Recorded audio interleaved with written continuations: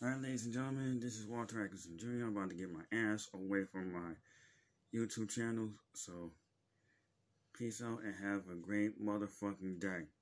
Peace out.